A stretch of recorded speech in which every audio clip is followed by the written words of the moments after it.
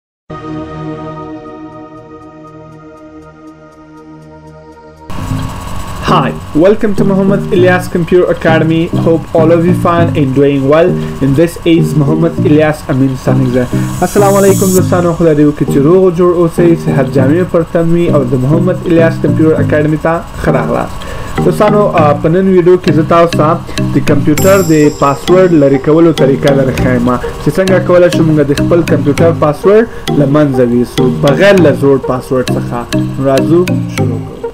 دوستانو که چیرې تاسو غواړئ د خپل کمپیوټر پاسورډ لمنځه ویسئ او یا هم د یو بل چا د کمپیوټر پاسورډ لمنځه ویسئ بغیر له زوړ پاسورډ څخه نو که چیرې تاسو کنټرول پینل ته راشئ او دلته غواړئ پاسورډ لمنځه ویسئ یوزر اکاونټ کې هلته چینج یور پاسورډ ووهئ نو اول تاسو څخه هلته کرنټ پاسورډ غواړي چې اوس د کم لپټاپ کم پاسورډ ده اول باید هغه ورشي بیا نیو پاسورډ ته ورکې نو که تا ته کرنټ پاسورډ معلوم نه وي نو ته نشي کولای چې نیو پاسورډ ورکې نو دې لپاره تاسو کولای شئ چې مای کمپیوټر مینج ته راشئ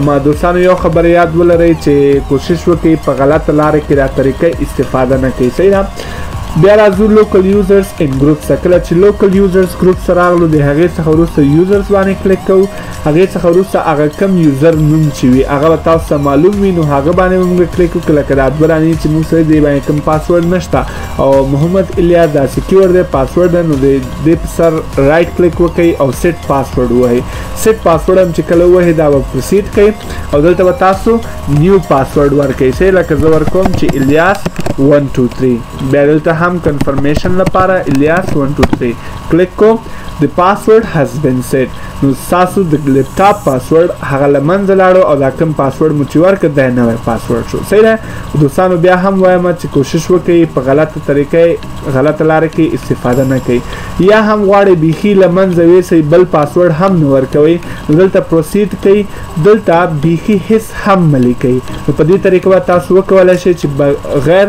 له پاسورډ څخه تاسو کمپیوټر پاتې شي نو دا وا زموږ د نن ورځې ویډیو